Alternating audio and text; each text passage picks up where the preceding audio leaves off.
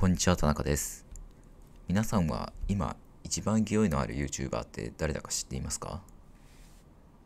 コムドットです。2018年の活動開始後、破竹の勢いでチャンネル登録者数200万人に到達。地元ノリを全国へをモットーに活動しているグループ YouTuber です。そんな人気 YouTuber のコメント欄では、日々熾烈な1コメ争いが行われています。全国から集まった猛者たちが我こそはと日々1コメを目指し競い合っているのです。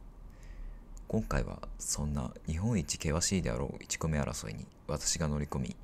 圧倒的な技術力で王者として君臨したいという動画になります。具体的には簡単に1コメを取れるプログラムを作成しキッズたちが喉から手が出るほど欲しがっている1コメを颯爽と奪い去っていく予定です。プログラムの動作は大きく分けてコムドットさんの動画方針を検知。その後高スピードでコメントを書き込むといったシンプルなものになります。まずはコメントを高速で書き込むプログラムの方を作成していきます。やり方はいろいろ考えられますがパソコンの入力の自動化を採用しようと思います。この方法は動かしている画面の裏の仕組みなどがよく分かっていなくてもとりあえずボタン操作さえ記録できれば何でも自動化できてしまうといったお手軽さがあります。またパソコンへのマウス入力やキーボード操作をプログラムが再現するだけなのでボットとして検知されブロックされてしまうといったリスクが少ないです。完成しました。プログラムが自動的に1コメというコメントを書き込んでくれています。あとはコムドットさんの動画投稿を検知してこのコメント書き込み先の URL を切り替えるだけです。ちなみに今回はパソコン表示の YouTube ではなくモバイル表示の YouTube を使用することにしました。パソコン表示だと動画を先に読み込んでコメントを後に読み込むという処理が入っているらしく読み込みを待機している間に他の参加者に1コメを取られてしまう危険性がありました。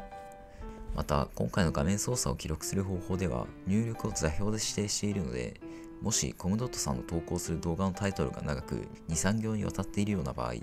タップする箇所がずれ動作の失敗につながりかねません。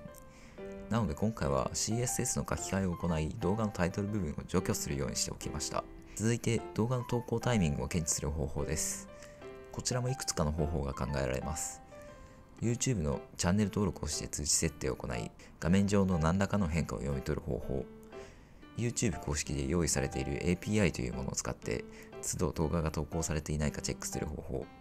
独自に動画一覧を読み取る仕組みを作り最新動画を検知する方法などが考えられると思います。まず YouTube の通知機能を使う方法なのですが私がテストした中ではなぜか通知が機能しないことが多かったので今回の手法としては採用しないことにしました。続いて YouTube API というものですがこれは YouTube が公式に提供している連絡通路みたいなものでいろいろな情報が取ってこれたりするんですがサーバーに負荷がかからないよう1日の読み込み回数に制限があります。いち早く動画投稿に気づいて1コメをしなければならない今回の場合だいたい数分で読み込みの上限に達してしまうので使用を見送ることにしました。最後に独自に動画一覧を読み取り最新動画を検知する方法ですがこちらは若干グレーな方法になりますのであまり堂々と紹介できるものではありません。ホームページなどにあまりに大量のリクエストを送ってサーバーに負荷をかけてしまうと攻撃とみなされて警察が来たりすることもあるらしいのでこれは慎重に扱わなければなりません。なのでなるべく YouTube 側に負荷がかからないようチェックの間隔で数秒待機する処理を入れる。コムドットさんが動画を投稿するであろう時間しか稼働させない。XML ファイルのみのスクレーピングをするといった条件のもとで進めていくことにしました。こんな感じでテキストのみで YouTube の更新状況を見れる URL っていうのがあるので数秒ごとにここから一番最新の動画の情報を取り今までにない動画 ID が現れた時に先ほどのコメント書き込みの機能を作動させる形になります。あとはコムドットさんがどれくらいの時間帯にいつも動画を投稿しているのかを確認するために直近数日間の動画の投稿時間を集計しました。まとめると20時半の投稿が基本的には多いのですが結構編集が遅れて日付が変わってから投稿しているような日もあったり、まあ、割と不規則な投稿時間であることが分かりました。恥ずかしながら私この集計で初めてコムドットさんの動画を見たのですがコムドットさんたち普通にかっこいいなと思いましたね。一個一個の動画の内容というよりはチャンネルの世界観というか生き様ですかね。なんか地元のヤンキーがウェイって言ってるだけのチャンネルかと思っていたんですけどかなりストイックに30分ぐらいある動画を毎日投稿していたり事務所に所属をしていなくて自分たちで会社を作って動画編集してっていう自立した姿勢がかっこいいと思いましたね。で僕が結構いいなと思ったのが底辺 YouTuber 時代の成人式代表スピーチっていう動画で結構 YouTube やってることを地元の友人たちにバカにされてるような雰囲気なのですが淡々と活動を続けて今の地位までたどり着いたということを考えると男心がくすぐられるものがありましたね。